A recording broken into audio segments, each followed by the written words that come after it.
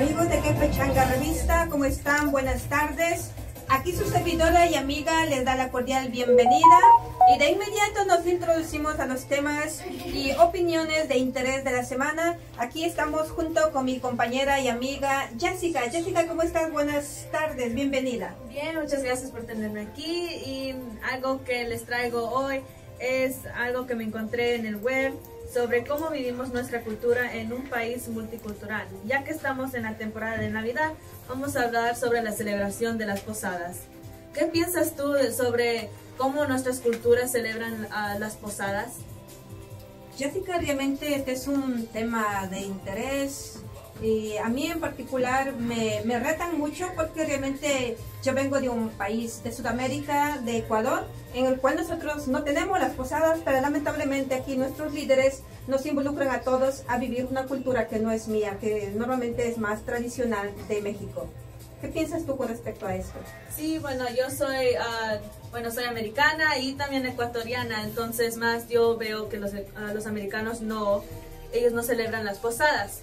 Entonces es como que están involucrando, bueno, desde el perspectivo de americano están viendo una celebración de un país con otros países y lo mixtean y no explican de, ah, de dónde sale la celebración original. Sí, realmente Jessica, em, para mí me retan cada vez, lamentablemente no tengo la oportunidad, pero no tengo la oportunidad, pero creo que es conveniente y muy importante que nuestros pastores eh, le preparen a los líderes a que cada cultura pueda vivir su identidad cultural con sus tradiciones, con sus costumbres y con su forma de vida que es muy, muy diferente. ¿Qué opinas tú con respecto a esto? Sí, igual yo también pienso que los líderes deben incluir las culturas y vivir la vida eh, y las culturas intercultural. Y um, bueno, ahora vamos a ir a los comerciales y les regresamos con, noticias del día. Muchas gracias. La Villita Restaurant los invita a su happy hour de 2 de la tarde a 4 de la tarde a degustar de sus ricas margaritas de diferentes sabores. Localízalas en el 424B de la Easter Boulevard en Excess, Maryland. Y a continuación nuestros presentadores de noticias, Juan Blanco y Nelson Ordóñez. Muy buenas noches a, los televidentes, a los medios. Y estos son los titulares. Quienes habla, DJ Carlos Banco, juntamente con mi compañero.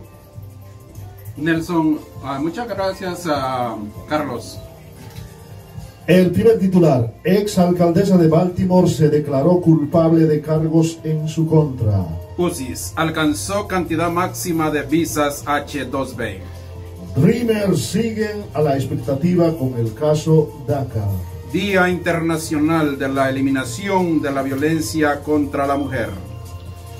Y estas son las noticias. Esa alcaldesa de Baltimore se declaró culpable de cargos en su contra.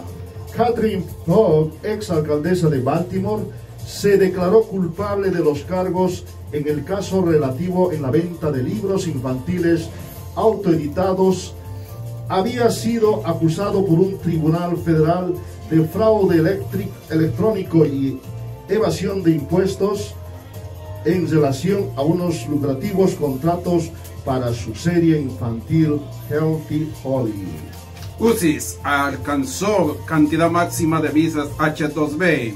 El Servicio de Ciudadanía e Inmigración de Estados Unidos USIS,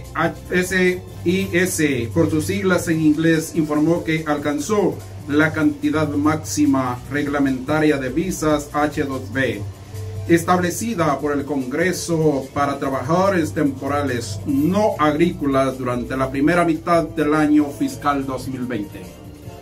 En otras noticias, Dreamer sigue a la expectativa con el caso de DACA. Tras las marchas efectuadas a principios de noviembre de este año en varias ciudades de Estados Unidos, millares de jóvenes indocumentados conocidos como Dreamers, soñadores, continúan esperando la decisión que tomará en los próximos meses el Tribunal Supremo de Justicia en torno al programa de acción diferida para los legados en la infancia DACA, por sus siglas en inglés. Día Internacional de la Eliminación de la Violencia contra la Mujer. En el marco del Día Internacional de la Eliminación de la Violencia contra la Mujer, enmemorado el 25 de noviembre de cada año, compartimos esta reflexión producto del trabajo consular.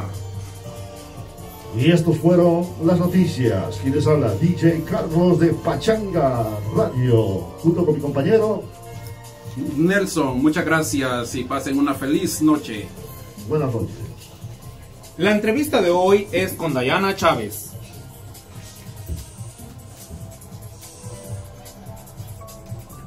Hola, buenas tardes. Hola, buenas tardes. Muy bienvenidos todos a la entrevista de hoy. Hoy tenemos el honor de entrevistar a la señorita y un orgullo latino también. Ella es Diana Pinguil. Hola Diana, ¿cómo estás? Estoy bien, gracias. Muchísimas gracias por darnos un tiempo, darte un tiempo en tu agenda para darnos esa entrevista que ya sabes que por mucho tiempo te hemos seguido y, y hoy es el gran día de poder entrevistarte. Cuéntanos acerca de tu trayecto de artista. Entonces, yo soy una bailarina y entonces yo tengo un grupo de jóvenes que bailamos y nosotros sabemos viajar por todo el mundo en competencias.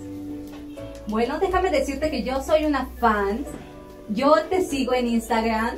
Sí, te sigo en Instagram y he podido observar de que subes muchos videos y muchas fotografías que estás fuera de los Estados Unidos y también que has podido realizar tu, tu sueño de presentarte en Broadway, en New York. Sí, entonces en New York yo y un grupo de um, jóvenes estábamos bailando y nos, brother nos conoció ahí. Entonces ahí fue mi primera oportunidad de a bailar ahí y ahí entonces fue donde personas nos conocieron a nosotros.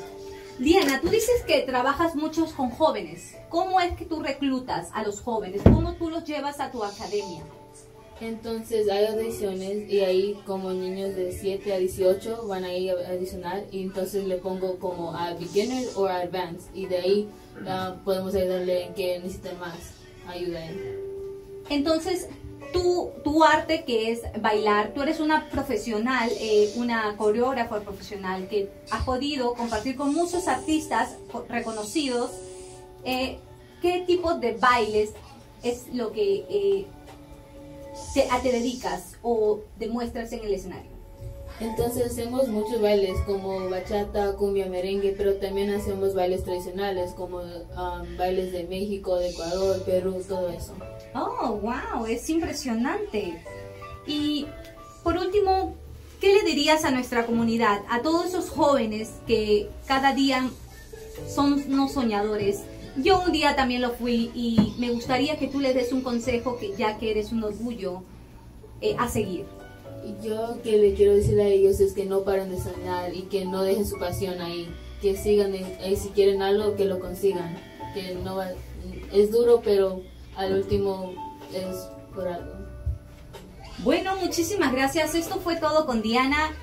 Y ahí está lo que Diana nos dijo. Muchísimas gracias, Diana. De nada. Buscando carro nuevo. Autopoint Used Cars te da hasta dos mil dólares por tu carro viejo. Visítalos en el 8302 de la Pulaski Highway en Rosedale, Maryland y checa su nuevo inventario de carros nuevos. El espectáculo de Quepachanga es traído por Blanca Gasca y Mari Pinguil. ¿Cómo está? Les saluda Blanca Gasca y mi compañera. Estoy por acá, Mari Pinguil. Hoy día les traemos la noticia del momento. Frida Sofía se niega a relacionarse con su madre Alejandra Guzmán. Ella niega que pasará estas fiestas de Sembrina con su mamá, debido a la gran pelea que han tenido. Mientras Frida Sofía se niega a una reconciliación con su madre, debido al gran pleito que han tenido. Ah, también María Elena Salinas tiene dos nuevas ahijadas. Ah, su pro- propósito es emprender eh, más emprendedoras a jóvenes en este país. Laura Bozo muestra, muestra la intimidad de su hogar. Belinda niega su noviazgo con el toro del corrido, Lupillo Rivera. Esta relación fue más que sonada por todos sus compañeros en un reality show que ambos fueron jueces. Ellos creen que nadie sabe, pero como todo el mundo supo, sí hubo noviazgo. Yolanda Andra- Andrade dijo que jamás negaría el matrimonio con Verónica Castro, aunque eso fue la razón por la cual ella abandonó su carrera como actriz. Yolanda Andrade dijo, si ella lo niega, yo jamás lo negaré. Nuestro ranking de la semana es presentado por Erika Flores y José Pinguil. Bienvenidos amigos al Top 5 de Que Pachanga Radio. Hoy estaremos resumiendo las 5 canciones más votadas y solicitadas del año. Soy Erika Flores y estoy con- junto a mi compañero José Pinguil. ¿Cómo estás? Estoy bien, gracias a Dios Erika. Saludos a toda la audiencia de Que Pachanga Radio. Estamos listos para presentar el ranking anual. Prepárense para escuchar la música más sonada del año. Exactamente, y empezamos junto a la canción número 5. Una canción que se postula a ser la número uno porque está peleando esta posición. Viene junto a Thalía y Nati Natasha que con esta canción han creado controversia que titula La canción No me acuerdo. Y en la pasión número 4 tenemos a Nati Natasha con la canción La mejor versión de mí. Que, que estas chicas vienen eh, concursando con Romeo Santos, que vienen cada semana más, más, que quieren estar encima del rey de la bachata como es Romeo Santos. ¿Qué, opina usted sobre de esto? Y ahora nos vamos con la posición número 3. Esta posición está junto a este número durante tres semanas. Él es Daddy Yankee, este boricua que ha arrasado en todo el mundo con su canción Con Calma, que tiene muy buen ritmo y que está a punto de casarse junto a la cantante Thalía. ¿Y cómo crees, eh, Mark Anthony, el ex de Jennifer López, se quiere hacer un éxito en el Bronx? Viene con la mejor versión para el, para el viernes.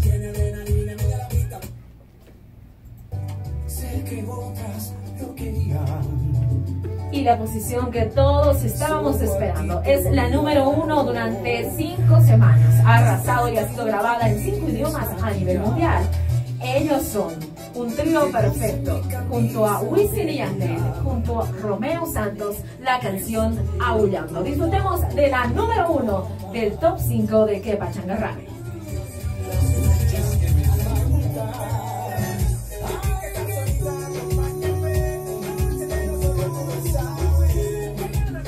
Estas fueron las cinco canciones más sonadas del año. Y bueno, pues estamos concluyendo este ranking, José, con los cinco temas más votados en la radio. Muchísimas gracias por, por esa información, Erika. Pues vamos a decir muy buenas tardes a todos los oyentes y que Pachanga Radio. Buenas tardes. Jessica, estamos de vuelta. ¿Qué opinas tú? Bueno, me gustaron todas las canciones, pero yo creo, de mi opinión, que Romeo Santos debería ser el primero y el único. ¿Qué dices tú? Yo estoy de acuerdo contigo, Jessica. Muy buenas tardes a todos. Bueno, mucho gusto con todos. Espero que les gustaran este show. Y esto es Que Pachanga Revista. Muchas gracias a todos.